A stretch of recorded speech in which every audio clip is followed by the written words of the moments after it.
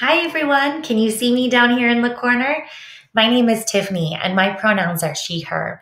And I'm going to read you a story today. This book is called The Bracelet. I'm excited to read it to you for a lot of reasons. One of them is because it tells the story of something that my own family went through. Uh, in 1942, shortly after the outbreak of war with Japan during World War II, the United States government took over 120,000 West Coast Japanese Americans, and two thirds of them actually were American citizens, and they put them into prison camps where they lived for a couple years. Um, in this story, you'll hear the main character is going to be sent to a camp in the Utah desert, and that is the same camp that my mom's mom's side of the family went to, and it's called Topaz. So while this isn't exactly the story that my family had, there are a lot of similarities, and I'm really excited to share it with you today. All right, let's get started. The bracelet.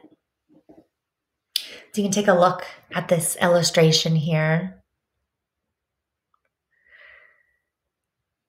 You can see there's a sign on the house. Looks like they're selling many things. They've crossed out washer, but they're still selling plants, beds, double beds, chairs.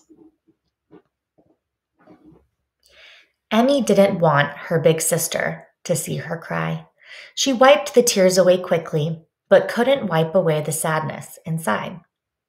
It's almost time to go, her mother called, and Emmy knew they would have to leave their home soon. She looked around her room.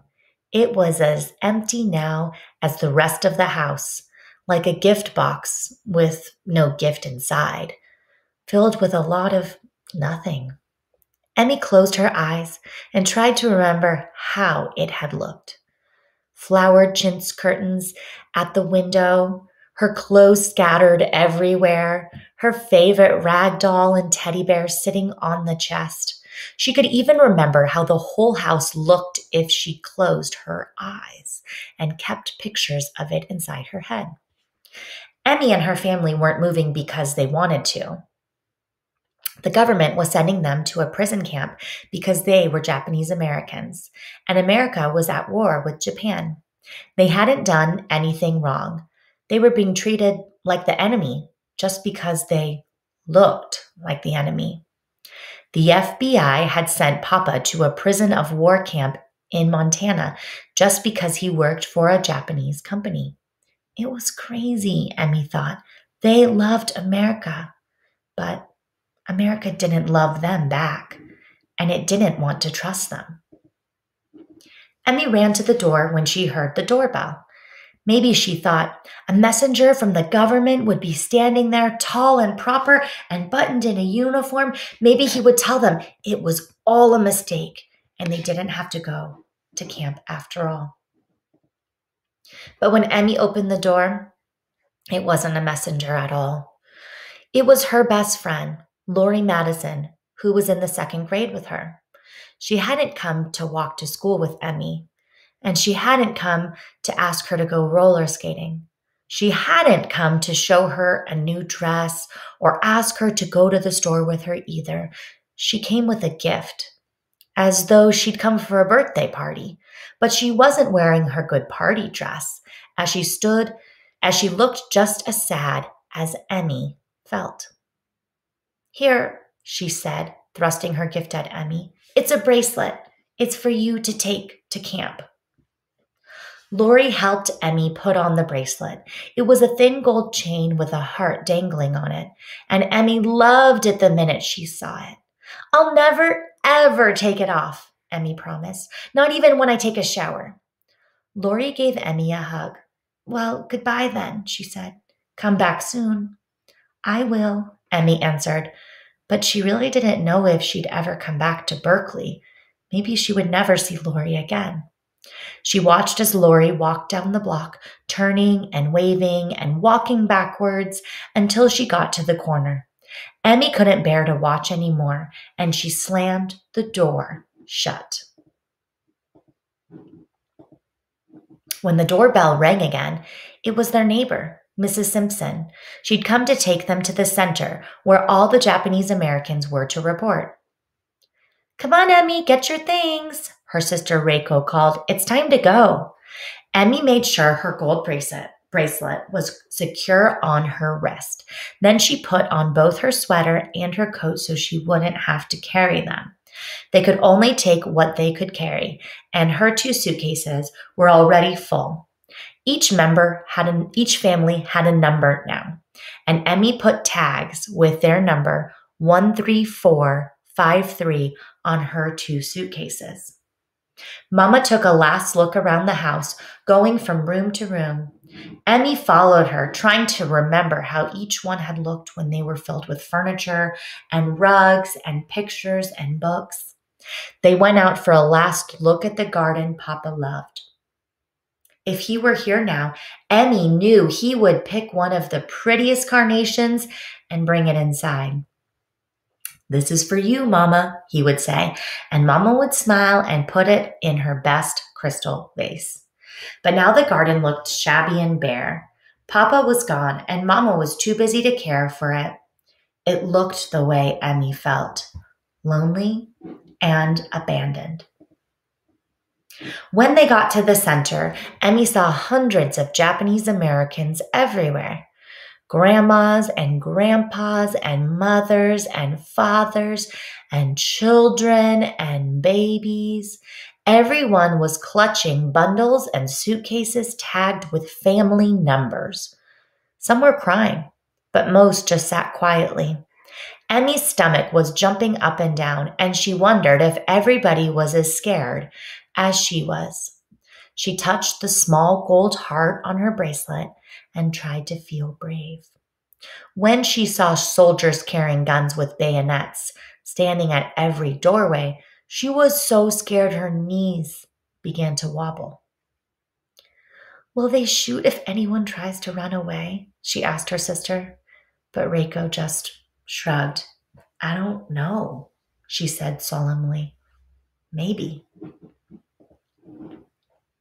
Soon it was time for everyone to board the buses lined up at the curb. They would take them to Tanforan racetracks, where the army had what which the army had turned into a prison camp. As the bus started down the streets she knew so well, Emmy kept her eyes on the window. They passed the Kato, Kato grocery store where Mama used to buy bean curd cakes and pickled radishes. The windows were boarded up now, but Emmy saw a sign still hanging on the door. It said, We are loyal Americans. I am too, Emmy thought. We all are. But the army didn't seem to think so. The bus sped down to the water's edge and crossed the Bay Bridge, looking silvery in the sun. Goodbye, Bridge, Emmy whispered. Goodbye, San Francisco Bay. Goodbye, seagulls. Emmy glanced at her sister sitting next to her and could tell she was trying hard not to cry. Stupid army, Reiko was muttering. Stupid war. And then they were at the Tanforan racetracks. There was a barbed wire fence all around it and guard towers at each corner. Armed guards swung open the gates to let the buses in and then closed them so no one could get out. They were locked in. They were assigned to Barrack 16, apartment number 40, and Papa's friend, Mr. Noma, helped them look for it. It wasn't among the massive army barracks built around the racetrack or in the infield. In fact, it wasn't a barrack at all. It was a long stable where the horses had lived, and each stall had a number on it. Well, here it is, Mr. Noma said as he came to a stall marked number 40. This is your apartment. Amy and Reiko peered inside. Gosh, Mama, it's filthy. No matter what anyone called it, it was just a dark, dirty horse stall that still smelled of horses. And the linoleum laid over the dirt was littered with wood shavings, nails, dust, and dead bugs. There was nothing in the stall except three folded army cots lying on the floor. Mama tried to cheer them up. I'll have Mrs. Simpson send us materials for curtains, she said. It will look better when we fix it up. But Emmy could tell Mama felt just as bad as she did. And no one could think of anything more to say. Mr. Noma went to get mattresses for them. I'd better hurry before they're all gone, he said. He rushed off because he didn't want to see Emmy's mother cry. But she didn't cry. She just went out to borrow a broom and swept out the dust and dirt and bugs. It was just after Emmy and Reiko had set up the army cots that she noticed. My bracelet's gone! Emmy screamed, I've lost my bracelet! Emmy looked in every corner of their stall and along the ramp that led to their stable. Mama and Reiko helped her, but no one could find it. It was getting dark, but Mama got out, got out her flashlight and they walked back along the racetrack, retracing every step they'd taken. The track was muddy and full of puddles the rain had left the day before. They looked and looked, but they couldn't find Emmy's bracelet anywhere. It was time to have supper at the grandstand. Emmy stood with Mama and Reiko at the end of a long weaving line, each of them clutching a plate and fork. But all she could think of was her bracelet. Already she'd lost the one thing that would help her remember her best friend. Emmy wanted to cry. Have you ever lost something and it meant so much to you that you wanted to cry?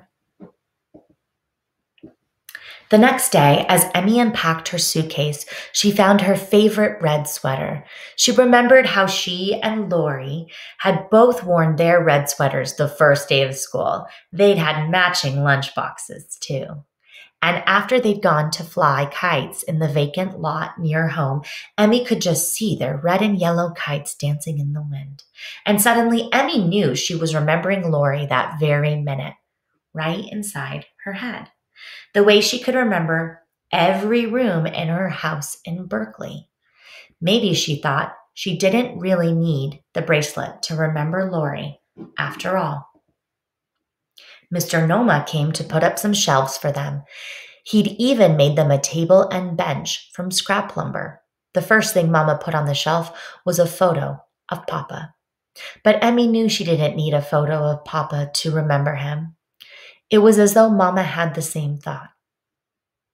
You know, Emmy, she said, you don't need a bracelet to remember Lori any more than we need a photo to remember Papa or our home or all the friends and things we loved and left behind. Those are things we carry in our hearts and take with us no matter where we are sent. Emmy knew Mama was right.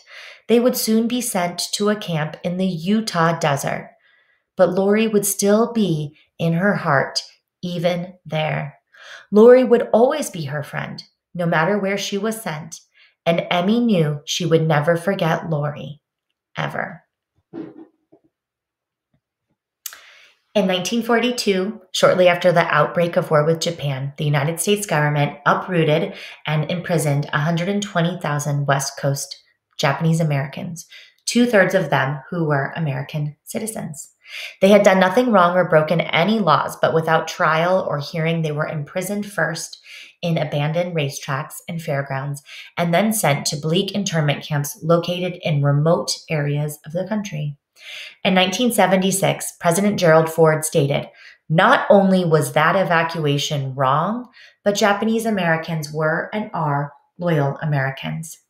In 1982, a commission established by President Jimmy Carter and the United States Congress concluded after an exhaustive inquiry that a grave injustice had been done to Japanese Americans and that the causes of the uprooting were racial prejudice, war hysteria, and a failure of political leadership.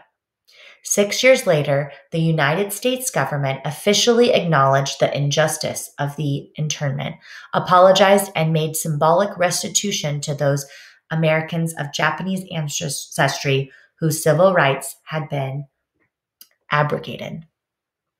So my mom actually showed me the letter. There was an apology letter that was sent, and I think each family, their family, um, if they weren't alive, their kids or grandkids were sent a little bit of money.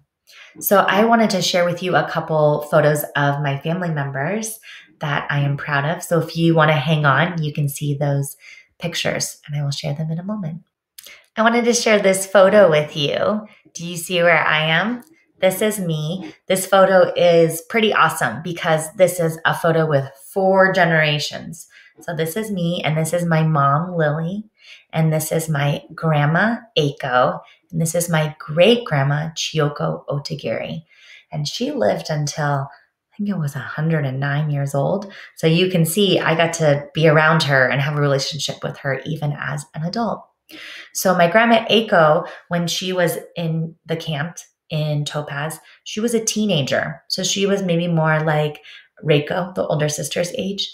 And then my grandma Otagiri, she was um, a young mother of three kids. So this is my grandma's side of the family. Also, my grandpa's side of the family was um, incarcerated in a different camp called Gila River. And because um, my grandpa, my grandpa's father was a well known Japanese man in the community, similar to Emmy's experience, he was sent to a uh, he was separated from his family and sent to a different prison camp because they found him to be extra suspicious. I have one more picture I'll share with you. So this one is me. I'm guessing I'm two years old because I'm doing this in the picture, or maybe I'm saying peace. I don't know. And this is me with my great grandma Otagiri. Her first name was Chioko, but we called her GGO for great grandma Otagiri. And um, here we are in the Bay Area, which is where Emily's family was. Remember, that's where this story took place. And we are I'm not sure where we are, but I know that we're in California in the Bay Area. Thank you so much for listening, and I hope you continue to learn more about this experience so we can make sure that it doesn't happen ever again. And that includes starting right now with closing prison camps that are open and are holding people who are seeking refuge to come be safe here in the United States. That's important topics, and you can go talk to some adults about. Thanks so much.